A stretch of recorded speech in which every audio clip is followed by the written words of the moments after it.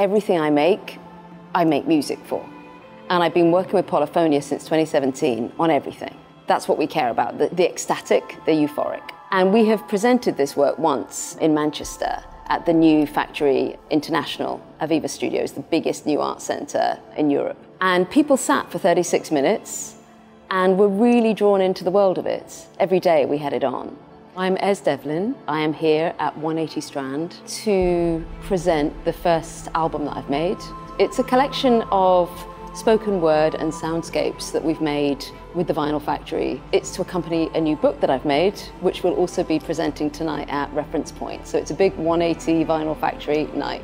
The album itself, it's a journey through a sequence of meditations, and they all add up to the same kind of message, which is really how do we make the edges of ourself more porous to other I think the moment that we're living in recently that has invited us to specialise and to label ourselves, I view that as somewhat of an unnecessity. For example, Christopher Wren, who built St Paul's Cathedral, might be known as an architect, but he also made the first drawings of tiny creatures under one of the first microscopes.